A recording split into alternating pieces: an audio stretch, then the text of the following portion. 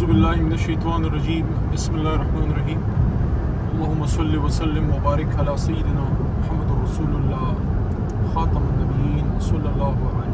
अलैहि वसल्लम अस्सलाम वालेकुम कुछ अपने कुछ एहसास आप लोगों के साथ शेयर में करना चाहता हूँ कल लाहौर था खान साहब ने मीटिंग बुलाई थी तो उसके लिए कल हमें जाना पड़ा वापस रात में पहुँचा हूँ इस्लामाबाद और अभी मैं जा रहा हूँ पेशावर शाम को फिर अपने इलाके में। आ, कल जो पहली मुलाकात खान साहब से ये हादसे के बाद हुई तो मेरे कुछ एहसास हैं जो मैं शेयर करना चाहता हूँ। न सिर्फ़ एज अ पाकिस्तान तहरीक इंसाफ के एक वर्कर के बल्कि इस मुल्क के एक शहरी के तौर पे जो जो उसने फील किया। जब इमरान खान साहब कल हमारी सीनियर लीडरशिप की मीटिंग थी और हम एक छोटे हाल नमा कमरे में बैठे हुए थे मीटिंग के लिए।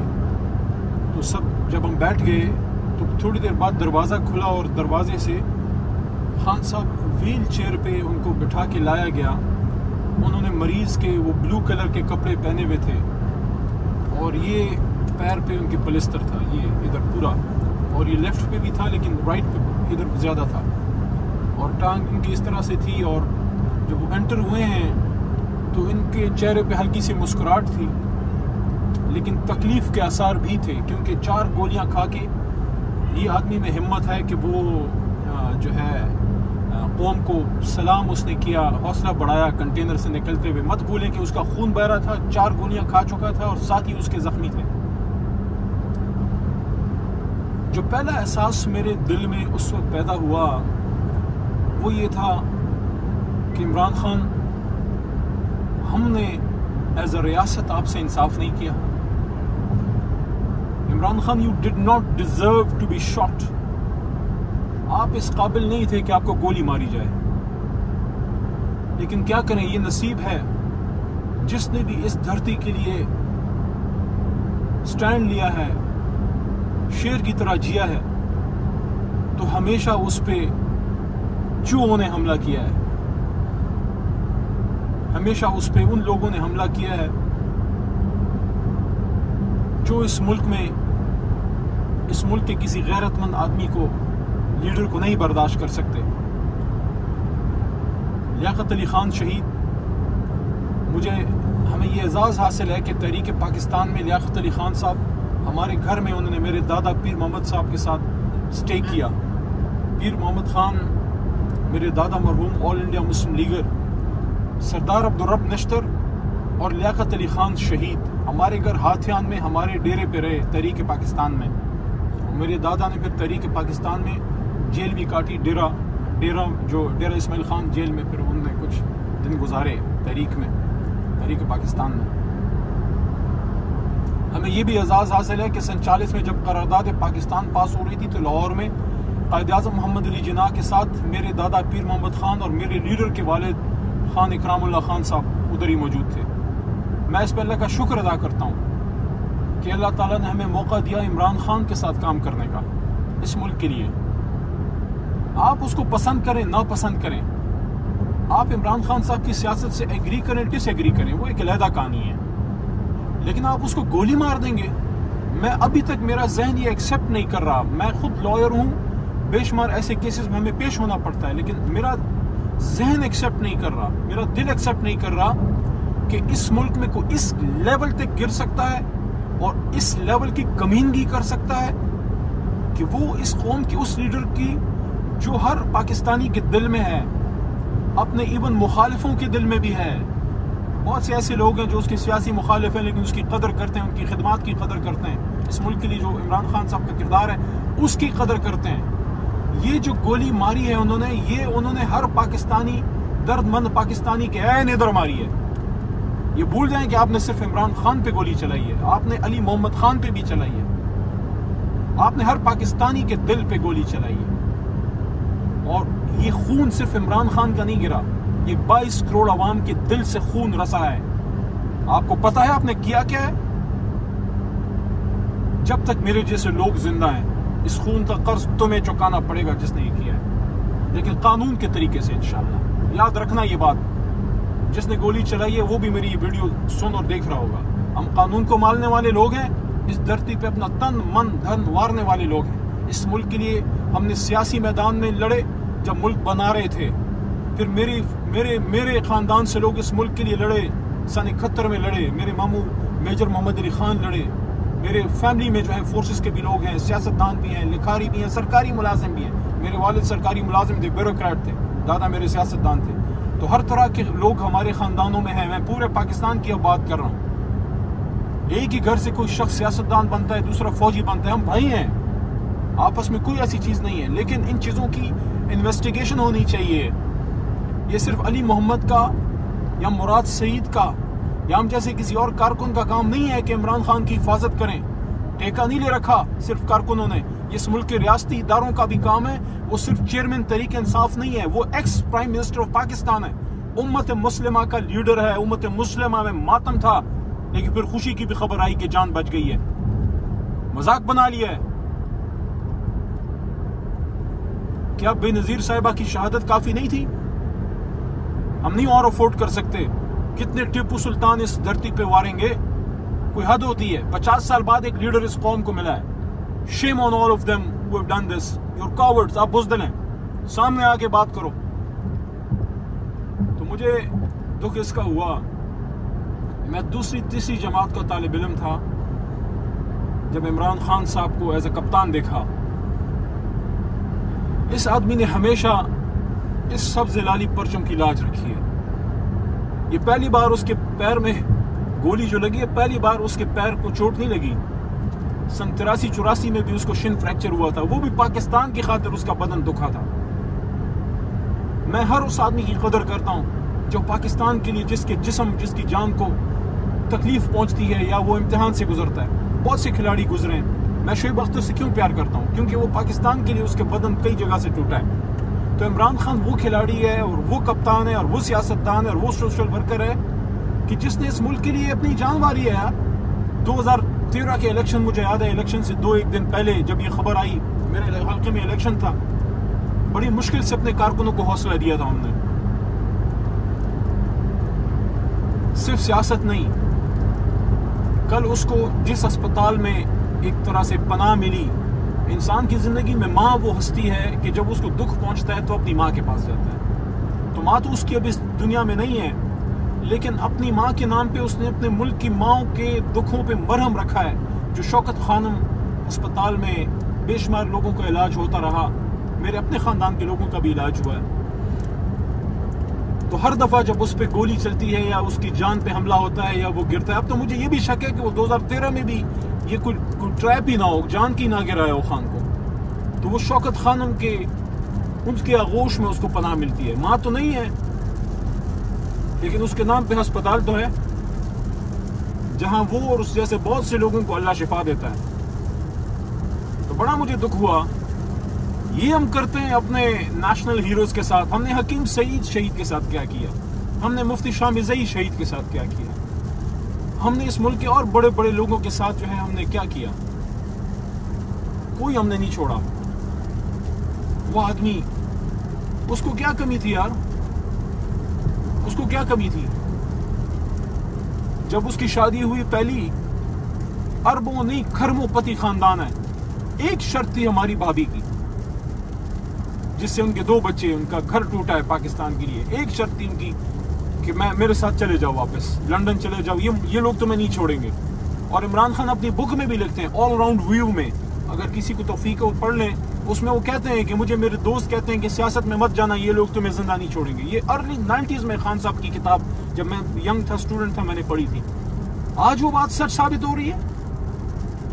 तो खान साहब क्यों नहीं गए जयमामा बीबी के साथ? उन्होंने कहा, नहीं, मैं पाकिस्तान नहीं छोड़ सकता। और इतनी गैरत उसमें कि वहाँ का कानून है कि अगर खातून तलाक ले तो उसको आधी प्रॉपर्टी मिलती है, अगर मर्द तलाक दे तो उसको आधी देनी पड़ती है। उनके आधी प्रॉपर्टी पे उनका हक था, खरबों का उनका हक था, लंदन में खरबों रुपए की। ये जो इधर से मियाँ साहब जैसे लोग गए ना, जो पाकिस्तान से करप्शन करके लोग गए हैं, और वहाँ अपने एमन फ़ील्ड बनाए हैं, उसको हलाल का अपने हक का मिल रहा था।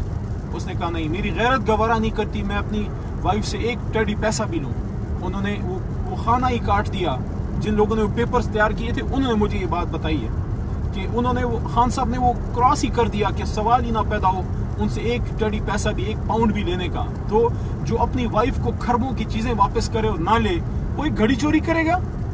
शर्म नहीं आती उन लोगों को? बहरहाल, उस आदमी को सलाम है कि जब उसकी माँ मर रही थी, अपनी बुक में लिखता है इमरान खान। लिखते हैं कि मुझे वो दर्द महसूस हुआ कि जब मेरी माँ कैंसर से मर रही थी तो कहते हैं कि मैं चूँकि क्रिकेट स्टार था नेशनल हीरो था, मैं अपनी माँ को अमेरिका, लंदन ले जा सकता था, मैं ले गया। लेकिन ना बचा सका। फिर वो कहते हैं कि मुझे जब वो मर रही थी, जब फोत हो रही थी शौकत खानम साहिबा तो उनकी उनकी उनकी बॉडी के पास, आखिरी लम्हात में खान साहब कहते हैं, मैंने अल्लाह से ये वादा किया कि मेरी तो माँ जा रही है, मेरे तो बसात में था, अपनी माँ को मैं अमरीका और इंग्लैंड लेके चला गया, लेकिन मेरे मुल्क में ऐसे बहुत से गरीब हैं जो अपनी माँ को अपने मुल्क में अस्पताल में इलाज नहीं करा सकते, उनका क्या होगा? तो वो अब ये सोचे, ये आदमी, यंग मैन, चौंतीस, पैंतीस साल की शायद उस वक्त उम्र होगी खान की। और उस यंग एज में उसके जहन में ये आता है कि यार, और वो खिलाड़ी था तब ये वॉज़ अ सुपर स्टार और वो कहता नहीं, मैंने अपनी मुल्क की माओ को और नहीं मरने देना। वो फिर शौकत खानम बनाने की बुनियाद पड़ी उस दिन। ये इस आदमी के साथ हमने किया है कि सत्तर साल के आदमी के बदन में गोली मारी है। किस लिए? क्योंकि वो पाकिस्तान को हकीकी तौर पर आज़ाद करना चाहता है, उसमें दम है कि मुल्क के सुपर पावर को, दुनिया के सुपर पावर को कह सकते हैं कि एब्सोल्युटली नॉट ये मैं इस वक्त पेशावर वैली में हूँ, ये पेशावर वैली में मैं जा रहा हूँ। अगर ये अड्डे उनको मिलते, ये पेशावर खून खून की होली इधर फिर खेली जाती। ये पेशावर खूना खून होता, ये सवात खूना खून होता। ये खैबर डिस्ट्रिक्ट ये ममन डिस्ट्रिक्ट ये बाजवड़ और इस आग के शोले पर इस्लामाबाद और लाहौर और कराची में भी पहुँचते। उसने तो पाकिस्तान बचाया जब उसने अड्डे नहीं दिए। When he said absolutely not, he was fighting for Pakistan. और अगर अमेरिका के साथ साथ वो रूस से भी ताल्लुक चाहता था तो क्या गुना था? अगर हमें वहाँ से सस्ता तेल मिलता है या चीन के साथ हमारा जो है साल साल का ताल्लुक है, उसको मज़बूत कर रहा था, सीपेक को मज़बूत कर रहा था तो ये गुनाह था? और चलो आपकी जितनी भी मुखालफत है, आपने कर दिया ना। रात के 12 बजे कौम के हीरो को आपने बेरुखी से निकलवा दिया। वो तो कौम है जिस, जिसने उसको ज़िंदा रखा है सियासी और जिसमानी तौर पर जो आपने कर दिया उस पर इतफा कर लेते, कोई शर्म कर लेते, कोई हया कर लेते। इतनी आप इतनी आप में हया नहीं है कि आपने इस कौम के, उस अजीम बच्चे के साथ ये किया। उसकी तो माँ भी नहीं है इस दुनिया में, बाप भी नहीं है। अफसोस है। ये मैं बताना चाहता हूँ, सबको मैं वॉर्न करना चाहता हूँ, ये 22 करोड़ आवाम की रेड लाइन है। आप सातवीं नस्ल तक इस धब्बे को फिर नहीं धो सकेंगे अगर आप ये कर जाते। और अपनी तरफ़ से आपने कर दिया है। आपके खाते में इमरान खान इज़ डेड अल्लाह ने उनकी, अल्लाह ने उनकी ज़िंदगी बचाई है। और इस पर मैं तहरीक इंसाफ की मैं और अपनी मेन लीडरशिप को भी मैं कहना चाहता हूँ कि हमने इतने कीमती हीरे की क्या उस पर अपने आप से हम सोचें कि हमें इससे ज़्यादा हिफाजत नहीं करनी चाहिए थी? क्या हमने ये वो कदर की है इमरान खान की जो इमरान खान की होनी चाहिए? हमें, हमारे लिए तो बस वो जीतने की एक मशीन है, जहाँ इमरान खान को खड़ा करें, अली मोहम्मद को वोट पड़ जाए, वो मिनिस्टर बन जाए एमएनए बन जाए, तुम एमपीए बन जाओ, तुम वज़ीर अला बन जाओ। ये इमरान खान कल ना रहे, पाँच वोट नहीं पड़ेंगे हमें। तो इनशाला खान साहब को कुछ नहीं होगा, मैं वर्कर्स को और पाकिस्तानी कौम और ख़ासकर ख़वान को कहना चाहता हूँ, जो दुआएँ करती हैं अपने अपने इस अजीम हीरो, अपने लीडर के लिए। आज सुबह जब मैं पेशावर के लिए निकल रहा था तो कुछ अपने एक दो जलसों की वीडियोस नज़र से वैसे ही गुजरी तराने। उसमें मैं देख रहा था खातन और बच्चियाँ और बुज़ुर्ग औरतें, माएँ। दुपट्टे सर पे रखे, हाथों में पाकिस्तान के झंडे, ये यहाँ पे स्टिकर्स छोटी बच्चियों के, पाकिस्तान जिंदाबाद। और कौन बचाएगा पाकिस्तान? और ये पाकिस्तान के तराने, पीछे कायद की पिक्चर्स पीछे अलामा की पिक्चर्स ये तो एक एटमोसफेयर क्रिएट कर दिया इस आदमी ने, पाकिस्तान से मोहब्बत का। और वो आदमी जब वो अपनी वजारत उजमा से इतनी बेदर्दी से निकाला गया तो वो क्या कहता है? कहता है कहता है, इमरान खान नहीं, इस मुल्क को इमरान खान से ज़्यादा पाक फौज की ज़रूरत है। इतना उसमें की ज़रूरत है। वो मियाँ नवाज़ शरीफ साहब की तरह नहीं है कि मुल्क से बाहर जाके, इंग्लैंड में बैठ के सिपा सलार को गालियाँ दे, खुदा नखास्ता गलत बातें करे। की है ना मियाँ साहब ने? उसका नोटिस लिया जाना चाहिए। मरियम बीबी ने भी किया, उनका भी नोटिस लिया जाना चाहिए। खान साहब ने क्या कहा? मेरे से ज़्यादा मेरे मुल्क को मेरी फौज की ज़रूरत है। और कहते हैं, ये मुल्क भी मेरा ये फौज भी मेरी है। तो बात खत्म हो गई। इससे आगे को क्या बात करे कि मेरे से ज़्यादा इस मुल्क को मेरी तो ये अगर कोई सोच सक सोच रहा है कि इमरान खान को फौज से लड़ा दे या कौम को फौज से लड़ा दे, कौम और फौज एक है। कौम और इमरान खान एक है। कुछ चीज़ों पर इख्तलाफ हो सकता है। जो खान साहब ने बात की कि मैं अगर कोई बात भी करता हूँ तो मैं तामीरी तनकीद करता हूँ, मैं अपने इदारे को मज़बूत करना चाहता हूँ। तो खुदारा, मैं मेरी तो खैर तो नहीं है जिन लोगों ने ये काम किया है। मेरी इस मुल्क में किसी से तो नहीं है। मेरी सिर्फ़ अपने रब से तो है और अपनी कौम से तो है। इन हम इमरान खान को खुश नहीं होने देंगे, अल्लाह हमारे साथ है। और अब, और इन अल्लाह की मदद से और कौम की मदद से और कौम के तावन से मेरा लीडर ज़िंदा सलामत उसी कुर्सी पे एक बार फिर आएगा और दो तिहाई से आएगा और आप लोगों ने लेके आना है। लेकिन मुझे कल दुख बड़ा हुआ, इसलिए कि एक हीरो को हमने, उसके सामने हम बड़े हुए हैं। मेरी उनकी उम्र में फ़र्क है काफ़ी, कोई पच्चीस एक साल का तो होगा। जिसको हमने एक हीरो के तौर पे देखा और उसने किया क्या मुल्क के लिए? सारी ज़िंदगी मुल्क के लिए तो खेला है। और मुल्क के लिए तो किया है। कौन सा सियासतदान है जो जाके यूनिवर्सिटियाँ बना रहा है जाके अस्पताल बना रहा है और अब एक नहीं तीन बना गया और मुल्क के लिए ये मुसाफिर खाने कल मैं लाहौर रात थोड़ा जगह रास्ते बंद थे। मैं भी एक दो जगह एहतजाज में मैं भी था। तो मैं देख रहा था एक जगह जो मुसाफिर खाने इमरान खान साहब ने बनाए थे। आ, तो पनागाह जो है तो वो रोशन थी लाहौर में। उसमें गरीब लोग रात को सोते हैं। वो जिनको हम इंसान की नज़र से नहीं देखते। जो हम जब लाहौर, इस्लामाबाद, कराची में जब हम बड़ी बड़ी गाड़ियों में जाते हैं ना तो रास्तों में कुछ लोग बैठे होते हैं कुदाल लिए। वो बाजवड़ से आए होते हैं, वो ममन से आए होते हैं। वो सिंध और बलूचिस्तान के दूर अफ्तादा पहाड़ों से आके अपनी ज़िंदगी, अपने बच्चों के लिए कुछ कमाते हैं। वो रात को उस पनागाह में सोते हैं। उसका भी मज़ाक उड़ाया गया कि वो लोग जो ज़मीन पे सोते थे, उनको पनागाह दी, रात को इज़्ज़त से सोए, सुबह वज़ू अच्छे गसल खाने और गुजारे लायक नाश्ता अच्छा साफ़ शफाफ रात को खाना और कम अज कम सर की छत की जब तक उसकी अपनी कोई गुजारा ना हो तो वो उस मुसाफिर खाने में, उस पनागाह में वो थोड़ा सा वक्त गुजार ले। इज़्ज़त दी उसने, गरीब को इज़्ज़त दी। ये इज़्ज़त देने की कोशिश भुट्टो ने भी की थी, उसकी बेटी ने भी की थी। दोनों के साथ क्या हुआ? खासकर बेटी के साथ तो बहुत बड़ा जुल्म हुआ कि बाप फांसी चढ़ गया, बेटी जो है वो धमाके में उड़ा दी गई। लेकिन खान को हम इस तरह नहीं जाने देंगे। सबसे पहले 22 करोड़ अवाम के सीनों को छलनी करना पड़ेगा, तब वो गोली इमरान खान के सीने पे जाएगी। लेकिन सिर्फ़ जबानी, कलामी, जज्बाती नारों से नहीं, अमली तौर पे हमें हमें कुछ करना पड़ेगा। मैं, आखिर में फिर तो रहता हूँ कि अगर कोई ऐसा बंदा मुझे सुन रहा है, जो जिम्मेदार आदमी है और जिसको पाकिस्तान से मोहब्बत है और उसकी बात में कोई वज़न है, खुदारा इस मुल्क को आग में जलने से मजीद बचाओ। इलेक्शन होने दो। बंद कमरों में लोगों की ज़िंदगी और मौत के फैसले मत करो। अवाम को फैसला करने दो। किसके हाथ में इस मुल्क का इकतदार थमाना चाहता है? इमरान खान साहब के या किसी और के? ये फैसला अवाम पे रख दो, खुदारा। इसमें तुम्हारी भी इज़्ज़त है, इसमें हमारी भी इज़्ज़त है और सबकी इज़्ज़त है। और बाकी जान जो है, वो एक दिन वैसी ही जानी है। किसी की बेजती ना कभी की है मैंने, ना कभी करूँगा। ना किसी के खिलाफ जाती बात कभी की है, ना करूँगा। लेकिन जब बात पाकिस्तान पे आएगी, जब बात इमरान खान पे आएगी, फिर अली मोहम्मद और मेरे जैसे हज़ारों बोलेंगे। खुदारा, वो वक्त मत लाओ। जब जो थोड़े बहुत बंधन रह गए वो टूट जाएँ। इस मुल्क को चलने दो। इस आदमी को जीने दो। उसकी ज़िंदगी में बहुत से लोगों की ज़िंदगी है। वो बहुत से लोगों के दिलों में रहता है। उनकी आँखों की उम्मीद है। ये उम्मीद मत छीनो। अभी तो आँखों में सिर्फ़ आँसू हैं। कल को उसमें सिर्फ़ खून उतर आएगा। ये आंसुओं को आँसू रहने दो। इनको खून में मत बदलने दो। ये नुकसान पाकिस्तान का होगा। तुम्हारा कुछ नहीं होगा। तुम्हारा तो बहुत कुछ बाहर है। हमारा नुकसान होगा इन नहीं होगा। इन इमरान खान जिएगा, दोबारा वजी अजम बनेगा और इन इस मुल्क को हम वो मुल्क बनाएँगे जो सूफी मोहम्मद बरकत अली साहब फैसलाबाद वाले फरमाते थे कि एक वक्त आएगा कि तुम्हें जंगलों में कांटे चुनता एक मलंग, एक बुज़ुर्ग, एक दरवेश याद आएगा जो कहा करता था कि एक वक्त आएगा कि पाकिस्तान की हाँ और ना में दुनिया की हाँ और ना होगी। वट वॉज़ ही प्रोडिक्टिंग कि पाकिस्तान एक सुपर पावर बनेगा। ये वो बात है जो कायद आज़म मोहम्मद अली जिना ने 1942 में लाइफ मैगजीन को इंटरव्यू देते हुए की थी कि वन ही वाज क्वेश्चन कि mister Jinnah after independence how do you perceive Pakistan? कि आप आज़ादी के बाद पाकिस्तान को कौन सा मुल्क देखना चाहते हैं?